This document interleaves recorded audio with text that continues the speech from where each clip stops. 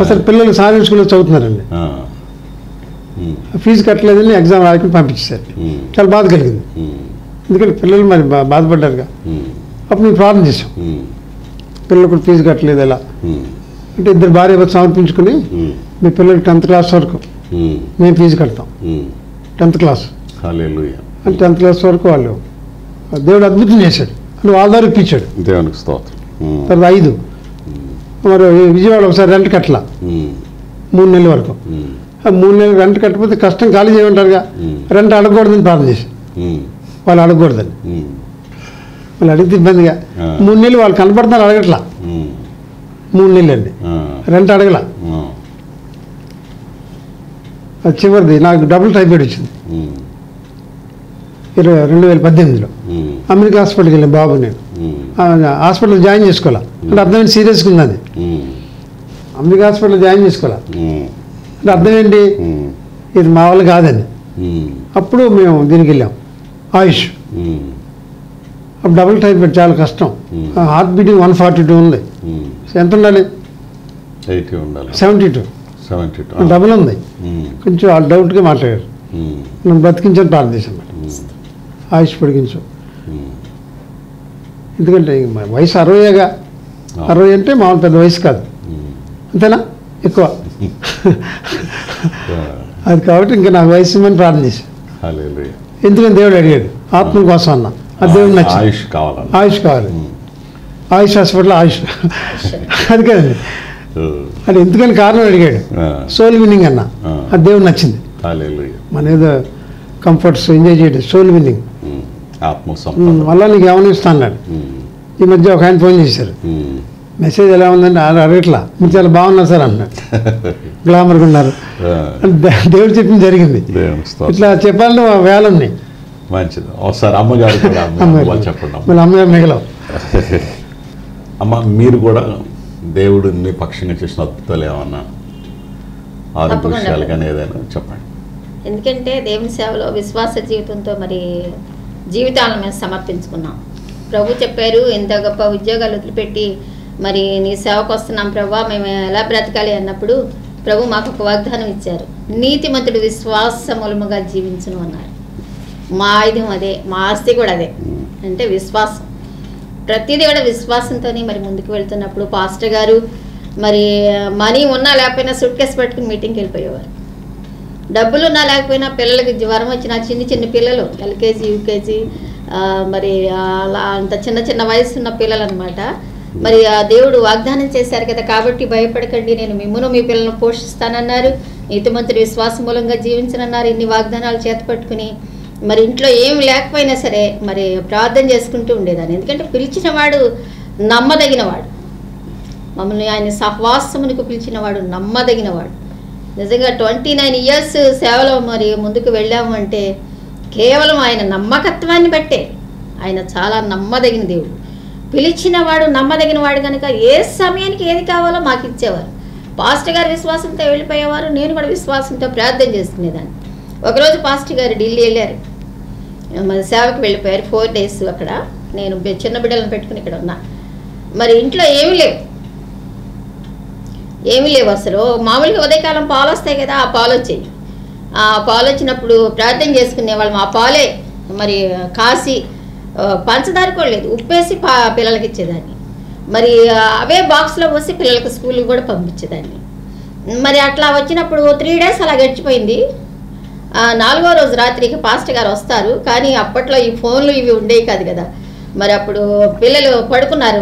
పన్నెండు అయిపోయింది ఒంటి గంట అయిపోయింది. ఇద్దరు బిడ్డలు పెద్దోళ్ళు కాబట్టి జాను పాలు మెదలకుండా పడుకున్నారు. ఐజక్ బాబు బాగా గట్టిగా ఏడ్చేశాడు. అమ్మా నాకు ఆకలేస్తుంది అని ఏడ్చేశాడు. నా పట్టమే పడుకుని. అప్పుడు నాకు చాలా దుఃఖం కలిగింది. ప్రార్థన చేశాను చాలా. ప్రార్థన చేసినప్పుడు నిజంగా దేవుడు అద్భుతంగా అప్పుడు వెంటనే ఒక అరగంట సేపు ఏమో అలా దుఃఖపడి ప్రా మోకాలుండి ప్రార్థన చేశాను. పర్లేదమ్మా ఎస్ఐ మీకు ఇస్తారు ఇస్తారు కంగారు పడబాకండి అని చెప్పేసి ప్రార్థన చేసి ఆ త్రీ డేస్లో నేను ప్రార్థన చేసుకుని బయటకు వెళ్ళొచ్చు. విజిటింగ్కి వెళ్ళొచ్చు. విజిటింగ్కి వెళ్తే మనకి ఏదైనా సరే దేవుడు సాయం చేయొచ్చు. కానీ దేవుడు అన్నాడు నువ్వు అక్కడ ఉండి ప్రార్థించే బయటకు వెళ్ళొద్దన్నారు. మూడు రోజులు ఉపవాసంతో అలాగే నేను ప్రార్థన చేసేదాన్ని. పిల్లలు స్కూల్కి వెళ్ళి వచ్చేవారు. అప్పుడు అలా వచ్చినప్పుడు దేవుడు ఏంటంటే మాకు విశ్వాసం నేర్పించడానికి ఒక పరీక్ష ఒక టెస్ట్. దీనిలో నెగ్గుతారా లేదా అని చెప్పేసి మరి దేవుడు పరీక్షించారనమాట అప్పుడు ఒక అరగంట సేపటికి తలుపు చప్పుడైంది. అప్పుడు విజయ్ కుమార్ గారు కేకులు అవన్నీ పిల్లలకు కావాల్సినవి అప్పటికప్పుడు ఒంటి గంటకి ఏం తయారు చేసి పెడతాం? అప్పుడు తయారు చేసి పెట్టకుండా తినగలిగే ఆహారంతో ఆయన. మరి కేకులు బిస్కెట్లు మరి కమలాపళ్ళు అవన్నీ తీసుకుని వచ్చినప్పుడు మరి ఎంతో సంతోషంగా దేవుని స్థుతులు చెల్లించి తిన్నాం ఆ బిడ్డ కడుపు మీద పడి ఏడ్చినటువంటి ఆ బిడ్డ ఇవాళ మరి మా ఐజాక్ విజయ్ కుమార్ మంచి సేవ సేవకుడిగా. మరి ఐజక్ విజయ్ కుమార్ మరి చక్కగా గన్నవరంలో చర్చ్ మినిస్ట్రీలో ఉంటూ విశ్వాసంతో మంచి దైవ సేవకుడిగా తయారయ్యాడు. మరి కనుక బిడ్డలిద్దరు కూడా ఆ రోజున ఏడ్చిన ఆ బిడ్డల్ని అలాగ తర్ఫీదిస్తూ దేవుడు మంచి సేవకులుగా తయారు చేసుకున్నాడు. జాన్ విజయ్ కుమార్ కూడా చక్కని యవన పరిచర్యలో ముందుకు వెళ్ళగలిగాడు. ఎందుకంటే ఆ యొక్క స్థితి మాకు నేర్పించారు ప్రభు విశ్వాసముతో. మరి అన్ని ఆ పిల్లలు కూడా చిన్న వయసులో విశ్వాసంకి రావడం సేవకి రావడం మాకు చాలా మేలైంది. ప్రతిదానికి పిల్లలు చక్క రూమ్లోకి వెళ్ళిపోయి గదిలోకి వెళ్ళిపోయి ప్రార్థన చేసుకునేవారు. ఎస్ఐ నాకు ఇదిగో ఇది కావాలి బూట్లు కావాలి బుక్స్ కావాలి. ప్రతి ఒక్కటి కూడా పిల్లలకి వెళ్ళి ప్రార్థన చేసుకోండి. ఎస్ఐని అడగండి. ఇస్తారు అని చెప్పి నేర్పించాం. అందుకని ఆ విశ్వాసంతో వాళ్ళు కూడా ఈ దినాన మరి చక్కని దేవుని సేవకులుగా మరి అవి చూస్తూ కూడా అవి అనుభవిస్తూ కూడా మరి వాళ్ళ వాళ్ళ సేవకు రావడం అనేది ఆయన కృపే. ఆయన మరి మాకు ఇచ్చినటువంటి విశ్వాసమే. ఆ తర్వాత చక్కగా విజయ్ కుమార్ గారు వచ్చి మరి అవన్నీ తీసుకొచ్చారు మేము సంతోషంగా తిన్నాము. అది అది కుటుంబ జీవితంలో. ఆ తర్వాత సేవా జీవితంలో కూడా చాలా. మరి సేవలో మరి మేము ముందుకు వెళ్ళినప్పుడు సువార్త సేవలో మాకు సంఘం లేదు. సంఘం పెట్టొద్దన్నారు కదా ప్రభు. ప్రేయర్ టవర్స్ ప్రార్థనా శిఖరాలను ప్రారంభించి ప్రార్థన చేయటం మేము ముందుకు వెళ్తాం. ప్రార్థించండి ప్రకటించండి. దేవుడు మాకు ఇచ్చిన మోటం. ఇక్కడ మేము ప్రార్థన చేయటం ప్రేయర్ టవర్లో దైవ సేవకుడు బయటికి వెళ్ళి ప్రకటించడం సువార్త ప్రకటించడం ఆత్మల రక్షణ కొరకు ప్రయాసపడడం ఇప్పుడు ప్రార్థన చేసినప్పుడు ఎన్ని అద్భుతాలు. మరి భారంతో మా సేవ కోసం ప్రార్థించేవాళ్ళు వాళ్ళ యొక్క శ్రమ కోసం ప్రార్థించేవాళ్ళు కొంతమంది వచ్చేవాళ్ళు. వచ్చినప్పుడు మేము చక్కగా ప్రార్థించినప్పుడు ఒక దినానైతే ఒక ఆంటీ మాకు ఫోన్ చేశారు. వాళ్ళ అమ్మాయి పెళ్ళి పెట్టుకున్నారు. వారం రోజు పెళ్ళి ఉంది వారం రోజుల పెళ్ళి ఉంది ఆ అమ్మాయి మందు తింది ఎలికిలి మందు తినేసింది. హాస్పిటల్కి తీసుకొచ్చారు. డాక్టర్ గారు మా వల్ల కాదు అన్నారు. మేము కన్నీటితో ప్రార్థించాం. మేము మా టీం అంతా కూడా ప్రార్థన చేసాం అన్నమాట చేసినప్పుడు అద్భుత రీతిని దేవుడు. మరి ప్రభా పెళ్ళి జరగాల్సిన ఇంట్లో ప్రభా శుభకార్యం జరగాల్సిన ఇంట్లో దుఃఖం కలిగిస్తావా నాయన? దయచూపండి ఎవరిని బిడ్డ చనిపోవటానికి వీల్లేదని మేము ప్రార్థన చేసినప్పుడు దేవుడు అద్భుతంగా ఆ బిడ్డను బ్రతికించాడు. అదే శుభలేఖ మీద చక్కని వివాహం జరిపించారు. అద్భుతకరుడు. అలాగే మరి ఎన్నెన్నో అద్భుతాలు. ఎంతో రాడ్లు అనమాట లోకంలో పాపంలో ఇరుక్కుపోయి వ్యభిచారం చేత పట్టబడి అనేక రకాలుగా మరి తిరుగుతూ జీవితాలను పాటు చేసుకుని యవ్వన కాలంలో వ్యభిచారంతో ఉంటూ ఒక స్త్రీ ఒక బిడ్డను కలిగి భర్త విడిచిపెట్టి వెళ్ళిపోయాడు. తను వ్యభిచారంలో నింపబడి భయంకర జీవితాన్ని జీవిస్తూ ఉన్నప్పుడు మరి విజయ్ కుమార్ గారు ఆ గ్రామం వెళ్ళి బోధించినప్పుడు మరి ఆమె పట్టబడి ఆమె ప్రేయర్ టవర్కి వచ్చింది. చెప్తాం మేము మీరు వాక్యం విన్నారు తీర్మానం చేసుకున్నారు. మీరు మార్మన్స్ పొందాలనుకుంటే రక్షణ పొందాలనుకుంటే ప్రేయర్ టవర్కి రండి. మీకోసం మరి అమ్మగారు ప్రార్థన చేస్తారు. కలిసి మేము మీతో ఉపవాసం ఉంటాం ప్రార్థన చేస్తాం రక్షణ పొందండి. ఎందుకంటే ఒక వ్యక్తి మారు మనసు పొందితే తప్ప పరలోక రాజ్యంలో చేరడు అని మేము స్పష్టంగా చెప్పినప్పుడు ఆ బిడ్డ మా యొక్క ప్రేయర్ టవర్కి వచ్చిందనమాట ఆ సహోదరి. వచ్చినప్పుడు మేము త్రీ డేస్ ఆమెను ఫాస్టింగ్ పెట్టి మరి ప్రార్థన చేసి సహకరించి పాపాలన్నీ ఒప్పుకొని చక్కగా ఆ బిడ్డ ఇవాళ రక్షణ పొందడమే కాదు. మా సంఘంలో అక్కడ ఉన్న స్థానిక సిఎస్ఎస్ సంఘంలో ఒక మంచి పాటలు పాడేటువంటి వర్తమానం ఇచ్చేటువంటి స్థితిలోకి ఆ బిడ్డను దీవెనకరంగా ముందుకు తీసుకువెళ్ళాడు. ఆత్మీయంగా ఆత్మీయంగా. ఇంకొక సోదరుడు కూడా అట్లనే. వాళ్ళ ఆవిడకి మంచి ఉద్యోగం ఉంది. నాకు ఉద్యోగం రావట్లేదు. అయ్యో నాకు చనిపోవాలనిపిస్తుంది అయ్యగారు. నాకు నెమ్మది లేదు అయ్యగారు. నా జీవితం వేస్ట్ అని చెప్పేసి వచ్చి పెద్ద కన్నగారి దగ్గర ఏడ్చి బాధపడేవాడు. నాయన నువ్వు మార్మన్స్ పొందు రక్షణ పొందు. నీకు నెమ్మది కలుగుద్ది అన్నప్పుడు ఆయన కూడా అంటే త్రీ డేస్ ఫాస్టింగ్ పెట్టాం. చక్క దేవుని దర్శనాన్ని చూస్తాడు బ్రైట్ టవర్లో దేవుడు వెలుగు వచ్చి దర్శించి ఆయన్ని పాపాలు ఒప్పింపచేసి చక్క మార్మన్స్ పొంది. వాళ్ళ పాస్టర్ గారు అయ్యారు ఆయన. ఆయన దేవుని సేవ చేస్తున్నారు. హల్లెలూయా అలాగే దేవుడు ఆత్మీయ జీవితంలో ప్రార్థనా జీవితంలో కుటుంబ జీవితంలో ఎన్నో అద్భుత కార్యాలు. ఆ తర్వాత మరి ఈ విధంగా చెప్పుకుంటూ పోతే చాలా మరి దేవుడు అద్భుత కార్యాలు. దేవుని నామ స్తోత్రం కలిగి అయ్యా మీరు ఎప్పుడైనా ఆర్థిక ఇబ్బందులు ఎదుర్కొన్నప్పుడు ఆకలి బదులు ఎదుర్కొన్నప్పుడు ఎందుకు మంచి ఉద్యోగాన్ని విడిచిపెట్టుకుని వచ్చానన్న ఆలోచన ఎప్పుడైనా వచ్చిందా? అంటే ఆర్థిక ఇబ్బందులు చాలా వచ్చినాయి. అంటే సేవలో సమస్యలు వస్తాయి శ్రమలు వస్తాయి ఇప్పుడు పౌలు ఉన్నాడు. అనేక సార్లు భోజనం లేకున్నాడు. ఉపవాసం ఉన్నాడు. శ్రమలు లేనిది సేవ లేదు. శ్రమలు లేనిది క్రైస్తవ జీవితం లేదు. రెండోది మాకు సంఘం లేకపోవడం వల్ల కొంచెం ఆర్థిక ఇబ్బందులు ఎక్కువ వచ్చినాయి సంఘం ఉంటే కొంచెం సపోర్ట్ ఉంటుంది. విశ్వాసులు కొంతమంది ఆదరిస్తారు. సువార్త కొంచెం సపోర్ట్ తక్కువ. చాలామంది ఆ ఫారెన్ ఎయిడ్ ఉంది అనుకున్నారు. అయ్యగారు లెక్చర్ కాబట్టి కాంట్రాక్ట్ చేస్తుంటారేమో. ఆ ఉద్దేశం మాకు లేదు. నెలకు మాకు చాలా అవసరం అద్దెలు ఫోన్ బిల్లు కరెంట్ బిల్లు ఫీజులు. చాలా అవసరం సొంత ఇల్లు కూడా లేదు. ప్రైవేట్ టవర్ అద్దె? ఇల్లు అద్దె. అంటే ఆర్థిక సమస్యలు వచ్చినాయి. అవి వచ్చినప్పుడు ఏమన్నా విదేశీ సహాయం ఉంటే బాగుండేది అనిపించిందా? విదేశీ? సహాయం ఉంటే బాగుండేది ఆ, అనిపించింది ఇప్పుడు అనిపించలేదండి. ఎందుకంటే దేవుడు రాజులకు రాజు. ఒక ఆయన అడుగు దొరను పట్టుకొని అన్నాడు. దొరలు దొర వేసి ఉన్నాడు కదా ఈ దొరలు ఎందుకు? అసలు దొరను పట్టుకున్నా అన్న. అట్లా అనిపించలేదండి. ఎందుకంటే దేవుడు చాలా అద్భుతాలు భక్త్ సింగ్ గారు. ఉమ్, ఇలా జీవితాలు చూశాం ఉమ్, తర్వాత హడ్సన్ టైలర్. నేను ఎక్కువ బుక్స్ చదివాను కదా విశ్వాసం పెరిగింది. అంటే శ్రమలు తాత్కాలికమే. శ్రమలు ఎప్పుడు ఉండవనే ఉద్దేశం అర్థమైంది. కొంచెం లేట్ అయినా దేవుడు ఎప్పుడు లోడ్ చేయాల. కొంచెం లేట్ అయింది అద్దె లేట్ అయింది ఫీజు లేట్ అయింది. మరి దేవుడు మంచి భోజనం ఇచ్చాడు. చాలా ఆశ్చర్యం మేము మంచి గృహాల్లో ఉన్నాం. మేమున్న ఇల్లు ఏడు గదులు చాలా పెద్ద ఇల్లు. రోడ్డు పక్కన మంచి పూల తోట. అది బందర్లో కూడా మంచి ఇంట్లో ఉన్నాం మేము. లెక్చరర్ స్థాయి తగ్గలా. కాదు కొంచెం ఆలస్యం అవుతుంది. నిధులు ఆర్థిక ఇబ్బందులు. దేవుడు పరీక్షిస్తాడు. యోగులాగా అంతేగాని దేవుడు ఎప్పుడు సహాయం చేయడం సిద్ధంగా ఉంటాడు కాబట్టి కొంచెం ఆర్థిక ఇబ్బందులు వచ్చి ఎప్పుడు అనుకోవాలా? ఉద్యోగం చేస్తే బాగుండేది అనే ఆలోచన కలగల. కాదు లెక్చరర్ జాబ్ చాలా ఇష్టం. ఆ జాబ్ ఎక్కువ గుర్తుకొచ్చేది. డీసెంట్ జాబ్ కదా. ఎక్కువ సెలవులు ఉంటాయి కదా అనిపించే అప్పుడప్పుడు అలా ఎందుకు వచ్చా అనిపించలా. విడిచిపెట్టినందుకు చీకరా బాధ లేదు. లేకపోతే పిల్లల సేవకేమంగా? ఆ బాధ ఉంటే పిల్లల సేవకేమో? అంటే పిల్లల్ని సేవకి ఇచ్చారు పిల్లలు ఇష్టపూర్వకంగా వెళ్ళారా? ఈ బాధను ఎందుకు డాడీ వాళ్ళు పడుతున్నారు కదా అనుకున్నారా? అంటే మేము సేవలో సమర్పించుకున్నాం. మేము సేవకు వచ్చాం మరి అనేక వేల మంది చనిపోతున్నారు లక్షల మంది. ముగ్గురు పిల్లల సేవ సమర్పించాం. దేవునికి స్తోత్రం. మేము సమర్పించిన వారు సొంతంగా వచ్చారు. మా నాన్నగారు అమ్మగారు ఇచ్చారని వాళ్ళు. సేవకు రాలా. వాళ్ళు ఎంఏ గోల్డ్ మెడల్ జాన్ విజ్ ఇంగ్లీష్లో అలా Isaac సీఫర్లో MA first class M T H ఎంఇన్ well educated జాన్కి సిద్ధార్థ్ గారి ప్రొఫెసర్ అసిస్టెంట్ ప్రొఫెసర్ జాబ్ వచ్చింది. ఐజక్ గూగుల్ కంపెనీ హైదరాబాద్ రెండు లక్షల జీతం. పిహెచ్డి సీట్ వచ్చింది. అంటే చదువు లేక సేవకు రాలా. వాళ్ళు ఎక్కడ ఫెయిల్ అవ్వాలా? BA first class Isaac BSc eighty two six percent BSc. MA gold medal అందరూ ఇంగ్లీషే. కొందరు అడిగారు మీరు బీటెక్ ఎంబీబీఎస్ ఎందుకు చదివించాలంటే ఇంగ్లీష్ వాళ్ళు బాగా రావాలి.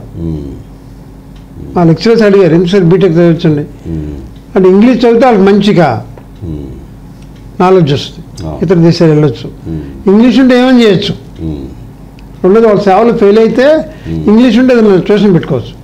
స్పోకెన్ లాంగ్వేజ్ ఒకేలా ఇంగ్లీష్ ఉంటే జాబ్ వస్తుంది. అంటే దైవికమైన గ్రంథాలు కూడా ఎక్కువ ఇంగ్లీష్లో చదవచ్చు. మెటీరియల్ ఎక్కువ అది ఇంగ్లీష్లో ఉంటుంది. ఇంగ్లీష్లో ఉంటే బాగుంటుంది. ఇతర రాష్ట్రాలు వెళ్ళటానికి అవును. మన రాష్ట్రంలో తెలుగు. ఆ ఉద్దేశంతో ఇంగ్లీష్ చదివించాం. వాళ్ళందరూ వాళ్ళే సేవకు వచ్చారు. సేవలో కూడా డివైడ్ చేశాం. యూత్ ఫర్ చేసి John. School of imaginary bible training. One year course. దానికి ఐజక్ ప్రిన్సిపల్. అలా పాలు ఇంగ్లీష్. సచివాలయంలో జాబ్ వచ్చింది. ఏడు ఉద్యోగాలు వచ్చినాయి ఒకసారి. కానీ దేవుడు మనం విడిచిపెట్టలా. ఏ తక్కువ చేయలా. నిజంగా ఆశ్చర్యం ఉంది. ఆ టైంలో డబ్బు పంపేవాడు. చాలామంది మరి పాస్టర్ అద్దె కట్టలేక సేవ మానేయటం. సైడ్ బిజినెస్ చేస్తున్నారు ఏజెంట్. తర్వాత మ్యారేజ్ బ్రోకరు. కొంతమంది అట్లా సైడ్ వెళ్ళిపోయారు. నేను అట్లా వెళ్ళా. నేను మ్యారేజ్ లైసెన్స్ కూడా తీసుకుని చాలా మంది అడిగారు నన్ను. మీ ద్వారా పెళ్ళి చేసుకోవాలి మేము. నేను మ్యారేజ్ పెళ్ళి చేయడానికి రాలేదు సేవకి. నాకు టైం లేదయ్యా. నాకు స్వార్థ పరిస్థితి సరిపోద్ది పెళ్ళి చేస్తే రోజుకు యాభై పెళ్ళి చేయాలి. అది వద్దన్న. కాబట్టి ఆర్థిక ఇబ్బందులు వచ్చినాయి కానీ ఎందుకు సేవకు వచ్చా అనుకోలా. అట్లా అనుకుంటే పిల్లలు సేవకు ఇవ్వంగా దేవుడు ఆర్థిక ఇబ్బందులు పంపినా మళ్ళీ వెంటనే సరి చేశాడు కదా. అందుకే దేవుడిని ఏమనుకోండి నేను దేవుడు ఇబ్బందులు వచ్చినప్పుడు తోబుట్టులు రక్షణ ఏమైనా మిమ్మల్ని విమర్శించేవారా? మా బ్రదర్స్ ఒకళ్ళిద్దరు జర్నలిస్ట్ కౌల పిల్లలు ఒక ఆయన. ఇంకో ఆయన తమ్ముడు ప్రభాకర్ అని కొంచెం వాళ్ళు. ఇంతకు కష్టాలు పడటం ఉద్యోగం చేసి సేవ చేయొచ్చు కదా లేకపోతే ఒకళ్ళు జాబ్ చేయొచ్చు కదా మా ఫాదరు. ఒకళ్ళు చేస్తే ఒకళ్ళు సపోర్ట్. కొంతమంది మా బ్రదర్ కానీ బెంజమిన్ కానీ. మా మదరు. సిస్టర్స్ బాగా సపోర్ట్ చేశారు మన ఇంట్లో ఒకళ్ళు సేవకు వచ్చారు. మన ఇంట్లో ఎవరు సేవకు రాలేదు కదా ఒక ఆయన వచ్చాడు. మనం సపోర్ట్ చేద్దాం. అని మా అమ్మగారు ఎక్కువ బ్యాక్ బోన్. తర్వాత ఒక లాయర్ మా తమ్ముడు. వీళ్ళందరూ ఉమ్. ఏదొచ్చినా ముందుకు వస్తారు. సపోర్ట్ ఉంది వ్యతిరేకత ఉంది. ఎక్కువ సపోర్ట్ ఉంది. వాళ్ళ ఉద్దేశం మా ఇంట్లో ఒక అతను సేవకు వచ్చాడు. అని ఉద్దేశం వాళ్ళ ఉద్దేశం లెక్చరర్ జాబ్ గొప్పది కదా ఎందుకు మానుకోవటం అంటారు ఇప్పుడు సెలవులు ఎక్కువ కదా సేవ చేసుకోవచ్చు మన పిల్లలు ఎందుకు ఇచ్చారు వీళ్ళు. వీళ్ళు ఇస్తే బాగుంటుంది పిల్లల నుంచి అనవసరంగా. అంటారన్నమాట. అది వాళ్ళ ఉద్దేశం మరి మీ సైడ్ మీ రక్షణ ఎందుకు లేదని అనేవారా ఆ, అమ్మ నాన్న నాన్నగారు చాలా తొందరగా చనిపోయారు. నేను డిగ్రీ చదువుతున్నప్పుడే నాన్నగారు చనిపోయారు. అయితే అమ్మ చాలా కష్టపడి నన్ను చదివించారు. చాలా నాన్నగారు చనిపోతే కూడా అన్ని చెప్పి చనిపోయారు అనమాట చక్కగా ఇలాంటి వ్యక్తికి పెళ్ళి చేయండి భుజంని ఇలా చూడండి అని చెప్పి చనిపోయారు. కానీ అమ్మ అదే మాట మీద నిలబెట్టుకోవడానికి చాలా చక్కగా చదివించేవారు నన్ను. జాబ్ చేశాను బీఈడి వచ్చింది. మరి ఆ తర్వాత మా ఇంట్లో నేనే బాగా చదివి జాబ్ చేశానని చెప్పేసి అమ్మ బాధపడేవారు. ఆయన చూస్తే లెక్చరర్ చక్కగా పోలే వెల్ సెటిల్డ్ టీచర్ చేస్తున్నావు ఆయన లెక్చరర్ చేస్తున్నారు చాలా. నాన్నగారి కోరిక కూడా అదే నెరవేర్చాను నేను అది అని హ్యాపీ ఫీల్ అయ్యేవారు. ఆ తర్వాత నేను రిజైన్ చేస్తాను అమ్మ ఇలా దేవుని సేవకు అన్నప్పుడు. అప్పుడు అమ్మ స్టార్టింగ్లో కొంత బాధపడ్డా కానీ తర్వాత అమ్మ చాలా చాలా సహకరించేవారు. చాలా హెల్ప్ చేసేవారు కూడా ఇప్పుడు మా కుటుంబానికి కూడా. అమ్మ సపోర్టివ్గా ఉండేవారు. ఎందుకంటే నేను అనే ఒక్కట భర్త ఎక్కడ ఉంటే భార్య కూడా అక్కడే ఉండాలి. దట్టి మళ్ళీ నన్ను కూడా దేవుడు పిలుస్తున్నారు కాబట్టి అమ్మ నువ్వేం కంగారు పడవాక అంటే చివరికి ఆవిడ ఒక అవగాహనలోకి వచ్చారు. ఎందుకంటే దేవుని యొక్క చిత్తంలో దేవుని సేవలో ఉండటం కంటే ఇంకా భాగ్యం ఇంట్లే అని చెప్పేసి ఆవిడ చాలా హ్యాపీగా ఉండేవారు. తర్వాత అన్నయ్య చెల్లి చెల్లి కూడా బాగా సపోర్టివ్గా ఉండేవారు. దేవుని ఇప్పుడు కూడా వాళ్ళ ఫ్యామిలీ చక్కగా మమ్మల్ని సపోర్ట్ చేస్తూ ఉంటారు ప్రేమిస్తారు. మా ఇంట్లో నుండి మా కుటుంబంలో మా అక్క దేవుని సేవకురాలైంది అది భాగ్యం అని చెప్పేసి ఆవిడ చాలా సంతోషపడుతూ ఉంటారు. ఈ విధంగా మరి కుటుంబం నుండి ఏం వ్యతిరేకత లేదు కానీ మమ్మల్ని ప్రేమించేవారు చాలా ప్రేమించేవారు తెలుసుకున్నారు.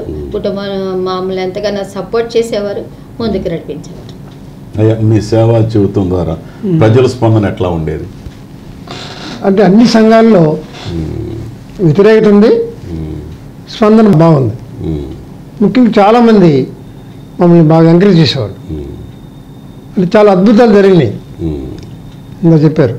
చాలామంది ఉద్యోగాలు వచ్చినాయి. చాలామంది మ్యారేజెస్ అయినాయి. ఉదాహరణ ఒక ఆయన వాళ్ళ కూతురు థర్టీ టూ ఇయర్స్ సంఘ సెక్రటరీ. చాలా బాధపడితే నేను చెప్పాను. ఎందుకు బాధపడతా? పెళ్ళి అయిపోద్ది ఆరు నెలల్లో మంచి భర్త బ్యాంక్ మేనేజర్. ఒక సహోదరి సంజయ్ అని బీటెక్ చదివింది. కొంచెం పళ్ళు ఎత్తుకుంటే పాప కొంచెం అంత అందం కాదన్నమాట వాళ్ళు ఫోన్ చేశారు. ఫోన్ చేసి చేసి మంచి. పర్సనాలిటీ. మరి బ్యాంకులో పనిచేసే వ్యక్తి భర్తగా వచ్చాడు. అక్కడ చాలా అద్భుతాలు జరిగినాయి మెయిన్ దేవుడి కొంతమంది. గోల్డ్ మెడల్స్ మార్క్స్ ర్యాంక్స్ ఇది బీటెక్లో. ఎంబీబీఎస్ ర్యాంక్స్ జాబ్స్ జాబ్స్ చాలా మందికి వచ్చినాయి. చాలామంది. తర్వాత కొంతమంది సువార్థికులకు వచ్చారు. పిలుపు అందుకుని అద్భుతాలు చూసినప్పుడు వాళ్ళ నమ్మకం వచ్చింది. హీలింగ్స్ ఒక కిడ్నీ రాళ్ళు ఆపరేషన్ లేకుండా. రాళ్ళు తగిలి ఒకతను బైపాస్ జరుగుతుంది హాస్పిటల్లో. జగన్మోహన్ గారు డాక్టర్ చనిపోతామని చెప్పారు ప్రారంభం చేసి ఆయన బతికాడు ఇంకా ఉన్నారు మంచిగా సేవలో ఉన్నారు ఇట్లా చాలా అద్భుతాలు జరిగినాయి. నాకు చెప్పారు ఒక విషయం తాగింది. కొన్ని గంటలు చనిపోద్ది ప్రార్థన చేసి బతికింది మళ్ళీ పెళ్ళి చేసుకుంది. బతికి పెళ్ళి చేసుకుంది ఇట్లా చూసినప్పుడు వాళ్ళకి మంచి విశ్వాసం కలిగింది రెండోది మన సాక్ష్యం వాళ్ళకి నచ్చింది వీళ్ళు డబ్ మైండ్ కాదు. మరి అయ్యగారు మంచి వ్యక్తి సేవ తప్ప వేరే ధ్యాస లేదు. లేకపోతే సొంత ఇల్లు కూడా లేదని అనుకుంటారు. డబ్బు అంటే సొంత ఇల్లు కట్టుకునే వాళ్ళు కదా. అది కూడా లేదంటే వీళ్ళకి ఎంత విశ్వాసం అనుకుంటారు. ఈ ఇరవై తొమ్మిది సంవత్సరాల సేవా జీవితంలో సుమారుగా ఎన్ని ఆత్మలను మీరు సంపాదించుంటారు అంటే నేను చెప్పలేం కానీ పదివేల గ్రామాలు వెళ్ళాం. అంటే నేను ఎనభై నుంచి సేవ చేస్తున్నా. తొంభై ఒకటిలో సేవకు వచ్చాం ఎనభై సంవత్సరం సేవలో ఉన్నాం. విశాఖపట్నంలో చేశాను. లెక్చరర్ ఉండి కూడా సేవ చేశాం. ఓన్లీ ట్వంటీ నైన్ ఇయర్స్ కాదు అదే. ఫార్టీ ఇయర్స్ సేవ చేశాం అంటే పూర్తి కాలం వచ్చి వచ్చి ట్వంటీ నైన్. అప్పుడు కూడా ఒక్కొక్క రోజు మూడు గ్రామాలకు వెళ్ళాం. మరి పదివేలు ఎట్ట అవుతాయి. ఇప్పుడు ఒక రోజు మధ్యాహ్నం ఒకటి. ఉదయం ఒకటి సాయంకాలం ఒకటి. ఇంటికి కూడా రాలా. ఒకసారి నేను చాలా ఊర్లు ఇంటికి కూడా రాకుండా వెళ్ళిపోయా. బస్ స్టాండ్ స్నానం చేసి. టైం లేదు. ఇప్పుడు బస్ స్టాండ్ వస్తాం మిడ్ నైట్ అవుతుంది. ఇంటికి వెళ్తే టైం చాలదు బస్ స్టాండ్ స్నానం చేసి బస్ ఎక్కేయటం. ఉమ్. ఇట్లా గ్రామాల్లో మంచి స్పందన వచ్చింది టౌన్ కంటే ఉమ్. మా విజయ్ కుమార్ గారిని భావం కలిగింది. నా సొంత తమ్ముడులా ఫీల్ అయ్యారు. కొడుకులాగా. నాకు చాలా ప్రజల్లో మంచి ఆదరణ వచ్చిందండి. చాలా మంచిగా ఉంటారు మాతో. ఉమ్. ఏమైనా అడుగుతారు పట్టించుకుంటారు. మరి చాలా మంది సేవకు వచ్చారు. స్వార్థ కనీసం వంద మంది స్వార్థకు వచ్చారు. నా ఉద్దేశం కొన్ని వేల మంది రక్షణ పొందుంటారు. అని మనం చెప్పలేంగా. రక్షణ అని చెప్పలేం. కానీ మాకు వచ్చే ఉత్తరాలు కానీ ఫోన్లు కానీ ఇవన్నీ చూసి చాలా మంది రక్షణ పొందారు. కానీ బాప్తీసు ఇచ్చింది చాలా తక్కువ మందికి ఇప్పుడు మీ సంఘానికి వచ్చాం మీరు అడిగారు. మీ బాప్తీసాలు ఇవ్వనాం. పాస్టల్ ద్వారా ఇప్పిస్తాం అదే. మీ సంఘ పద్ధతి తీసుకోండి. బాప్తీసాలు పెళ్ళి చేయటం అది లేదు. అంటే ఎవరు కోరితే అర్జెంట్ అయితే వాళ్ళు అడిగితే ఇస్తాం. మీరే ఇవ్వాలంటారు కొంతమంది. అది రేర్ అనమాట అట్లా కొంతమంది బాప్తీసాలు ఇచ్చాం. తర్వాత పెళ్ళిళ్ళు సెటిల్ అయిపోయినాయి అలా చాలా అద్భుతాలు ముఖ్యంగా ముఖ్య ప్రజల స్పందన బాగుంది. విమర్శలు ఏమైనా ఎదుర్కొన్నారా విమర్శలు కూడా వచ్చినాయి. ఇప్పుడు కొంతమంది సంఘ నాయకులు. వీళ్ళు సంఘాలు చూస్తారేమో ఉమ్. మారు మంచుకొని చెప్తున్నారు. మన సంఘాలకు ఎందుకు వస్తున్నారు. మీరు ఎందుకు రాణిస్తున్నారు. వాళ్ళ సంఘం పెట్టుకోవచ్చు కదా. ఏమా ఇట్లా కొంతమంది అంటారు. విమర్శలు వచ్చినాయి. ఉద్యోగం చేసి సేవ చేయొచ్చు కదా. ఈయన ఒక్కడే భక్తుడా. మేము మేము సేవ చేయట్లేదు లెక్చర్ చాలా మంది చేస్తున్నాం కాలేజీలో దేని మందు. పేర్లు చెప్తారు. మీరు వాళ్ళకి చేయొచ్చు కదా. మీరేం స్పెషల్ మన పిలిపి వాళ్ళకి అర్థం కాదు. దేవుడు పిలిచాడంటే వాళ్ళకి తెలియదు అంటే పెద్దగా అర్థం కాదు. రెండోది ప్రజలు డబ్బులు ఇస్తారని భయం. అయ్యగారు మంచి మెసేజ్ ఇస్తున్నారు. నాకు కానుకైటం మానేసి కానుకైతే మనసి ఇంటికి ఇంక ఇస్తారని చేస్తారు. కొంచెం భయంతో కొంతమంది. రానిచ్చేవాళ్ళు. అంటే ఒకసారి అబ్జెక్షన్ చెప్పేవాళ్ళు. కానీ ఎక్కువ మంది సపోర్ట్ చేశారు. ఒకసారి పాస్టర్ గారికి ఇష్టం లేకపోయినా సంఘ పెద్దలు మనం పిలిచేవాళ్ళు. కొన్నిసారి సంఘ పెద్దలు ఇష్టం పాస్టర్ పిలిచేవాడు. ముఖ్యంగా అన్ని పాస్టర్లు మమ్మల్ని ఎంకరేజ్ చేశారు. సిఎస్ఐ బాప్టిస్ట్ లోదరును ఎంకరేజ్ చేసి ఎక్కువ డబ్బు గురించి చెప్పడం మా ప్లస్ పాయింట్ అయింది. ఎల్ఎఫ్సి కానుకలు పంపండి. లేదా మాకు ఇంత ఉండి కొందరు అడుగుతారు సేవకులు. మేము కష్టపడి దూరం చేసాం? కనీసం ఒక ఐదు వేలే ఉండి. అట్లా అడగపోవడం వల్ల మాకు మంచి పేరు వచ్చింది. ఉదాహరణ మన నెల్లూరులో బైబిల్ గాజు పెట్టాము. పాస్టర్ మీరు అడిగారు. మీకు ఎంత ఇవ్వాలి. అమౌంట్ చెప్పండి సుమారు నన్ను వారం అడిగారు అనమాట అమౌంట్ బాబుల్ని వాళ్ళు ఇష్టపడలేదమ్మా ఉమ్. ఇప్పుడు మీ అమౌంట్ చెప్పాం ఉమ్. మీకు ఉంటే ఉండి. ఎక్కువ ఉంటే ఉండి. తక్కువ ఉంటే తక్కువ ఉండి. లేదు సార్ చెప్పండి అంటున్నారు. బైబిల్ కాదని మీరు నైన్ వీక్స్ రావాలి డబ్బులు చెప్పదు ఎట్లా చెప్పడం మా వాళ్ళు ఇష్టపడలేదు బాబు నేను కూడా ఇష్టపడలా.